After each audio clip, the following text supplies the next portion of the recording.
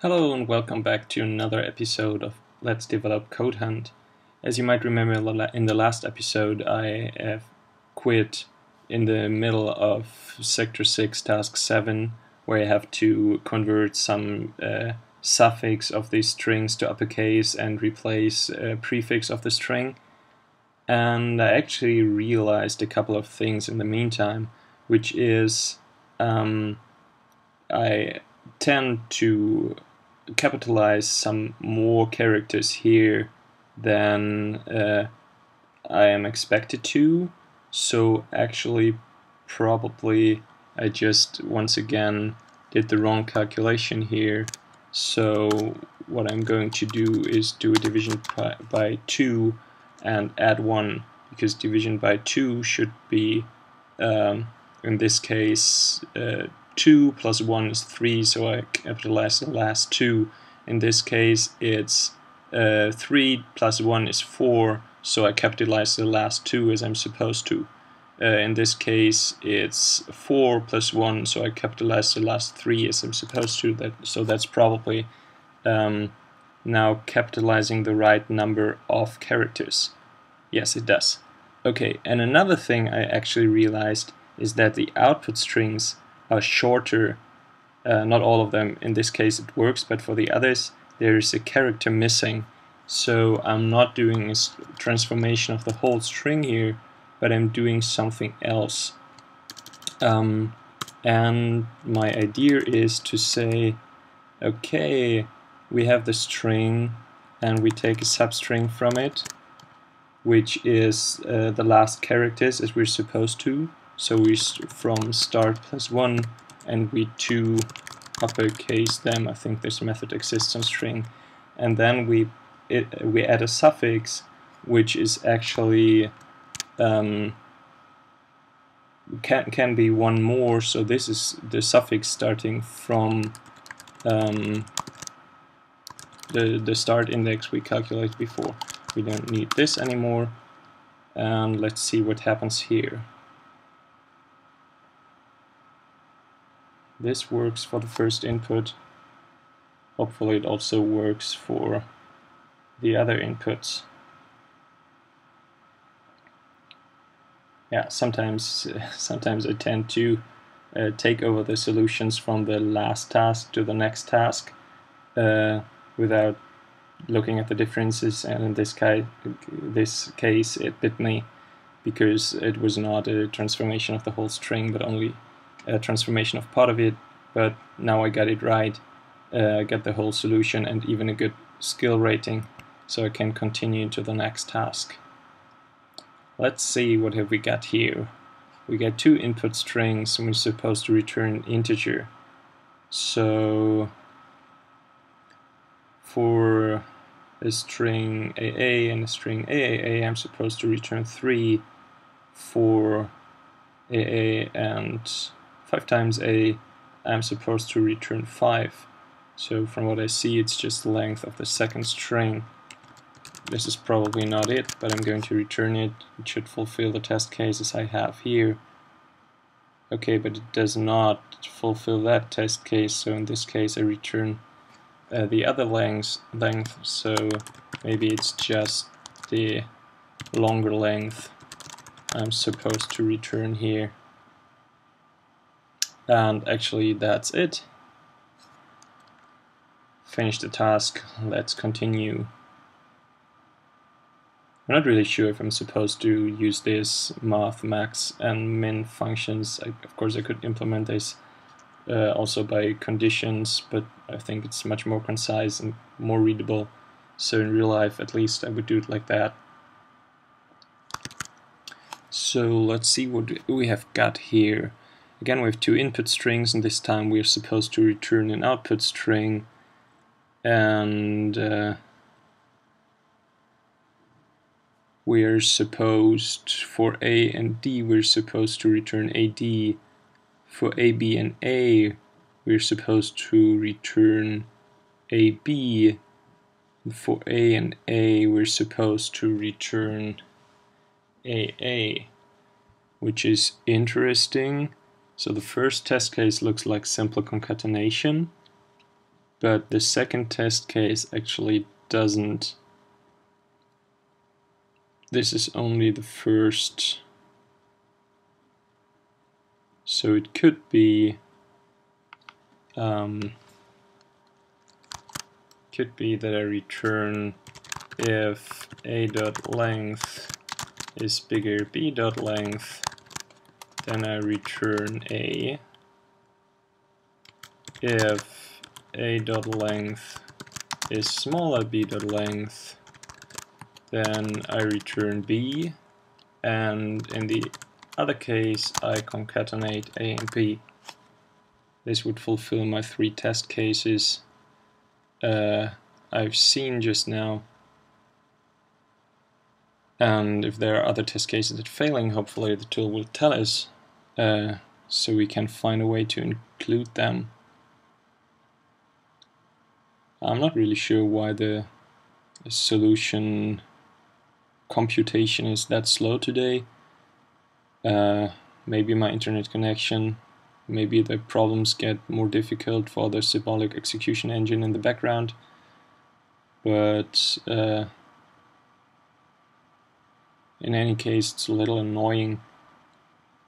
Uh, by the way, speaking of something completely different, in the meantime, I've uh, managed to submit uh, bug reports about the problems uh, we found in earlier episodes, and uh, unfortunately, I'm still waiting for a reply from Microsoft um, about these bug reports. I hope they can do something about it. And in the meantime, the engine computed our result, uh, told us that we're correct, and that we even get a good skill rating for that. So we can continue on to the next task. I try to capture the code fragment. We get in a string and supposed to return an int. Um, for an a we're supposed to return 0, for 2a we're supposed to return 0, for 3a we're supposed to return 1. Um, interesting. So maybe it's just string length divided by 3. Just a wild guess. And actually I was lucky with that guess. And finish the task, full skill rating, continue. Next one. Um, we get in two integers and a string. We're supposed to return a string. And from the test cases, I see that for 0, 0 and the string, I'm supposed to return the string. And for 0, 0 and another string, I'm supposed to return the same string, which is quite interesting. So maybe I just return a A for a start. But for BA, I'm supposed to return BB. Okay, that's interesting. I don't really get it by now. But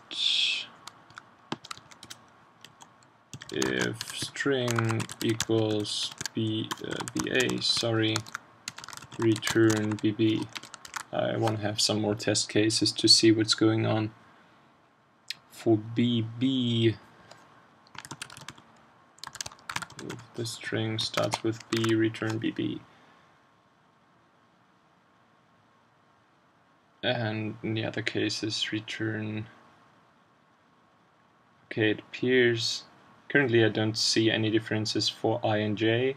So I'm just returning two times the first character of the string.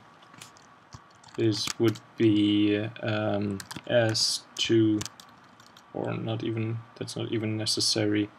You could just return S char at 0 plus S char at 0. This should work. No, I cannot implicitly convert that, so we have to explicitly converted. Um, So I guess I can just cheat like this. Interesting. Now we get... Uh, ah, of course, I get it. It's the ETH and the J's character. No, it's not. Interesting. Because um, for a longer input string, apparently something changes. Something I can't see yet, but if s length equals 3, then maybe it's some other combination. So it's still a string and it's s char at j and at i and maybe again at i and maybe then at j. Just a completely random guess how this longer string is composed and actually a wrong guess. Interesting. So there was only one case which was I0 and J1 where I am supposed maybe this is actually a substring no it's not a substring. We had the BA case that is supposed to be BB it's not a substring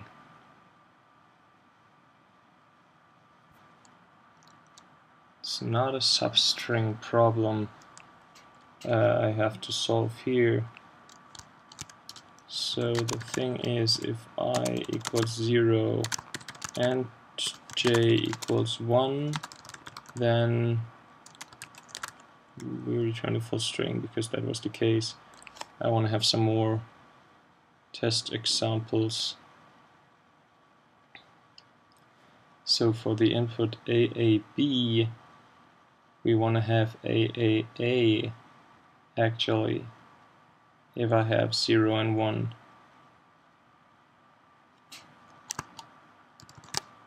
Uh, sorry. I didn't really see the pattern yet, but I guess there is one as last time there was one.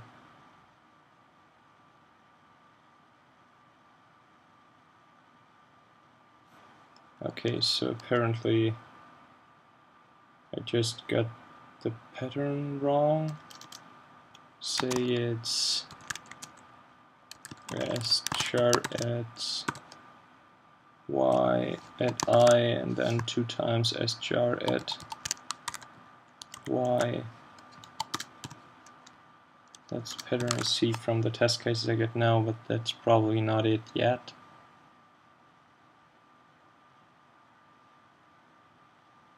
Because now I actually have a string of length 3 and I get an output of length 4 for 0 and 0.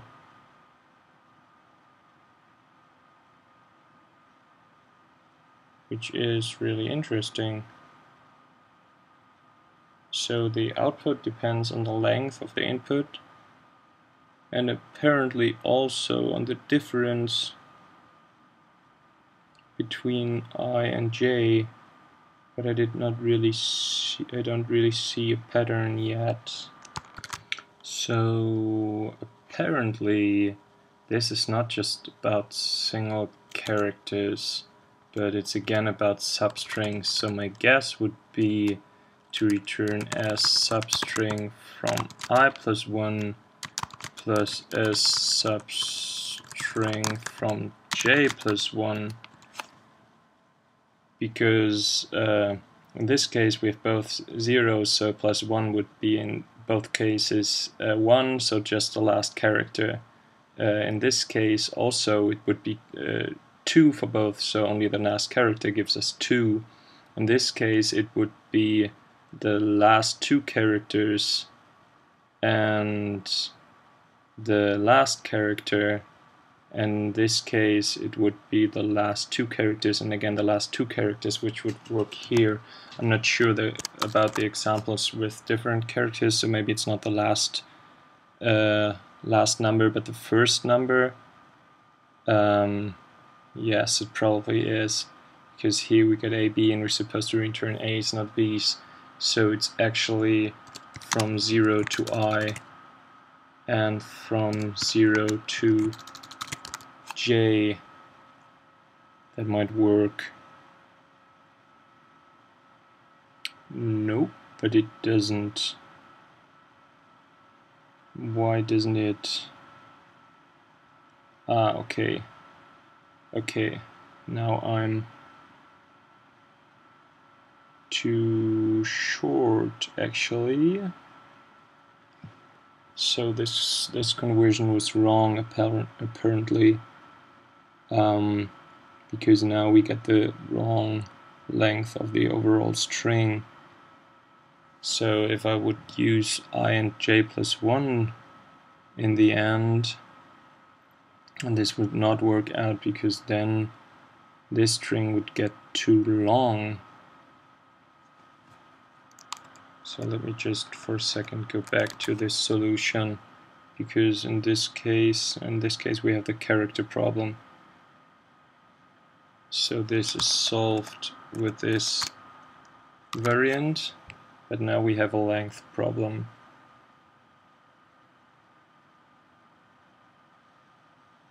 We're supposed, yeah, for this case it works, but for this case it doesn't, because we take the string from 0 to 0, which is an empty string again, so it's still an empty string, instead of taking the first character so maybe I just take at least one to say uh, math max max of i and 1 and math math max of j and 1 to ensure that I have at least one character included uh, which somehow Please rewrite so that argument 1 of this function does not have a side effect. Uh, there's no side effects involved here. I'm pretty sure. Um, okay, but I can of course just uh, say i plus plus j plus plus. Oh no, that's not that's not the. Uh, of course, that's i equals math max i1 and j equals math max j1 then again use i and j here maybe that solves the problem although I'm not really sure what the actual problem was because I'm pretty sure that math max does not have any side effects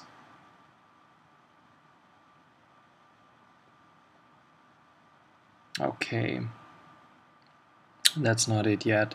I think the prefix idea is just wrong.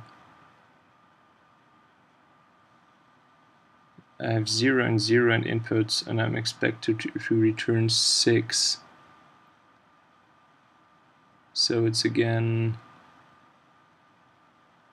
should be the first three instead of the last three, right?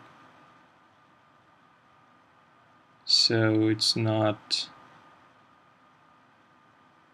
it's not really the substring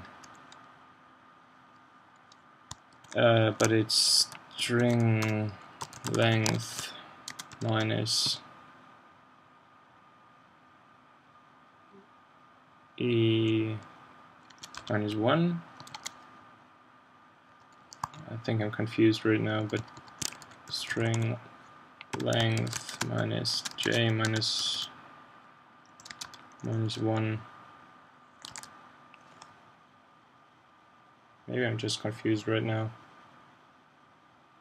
but yeah apparently I am confused right now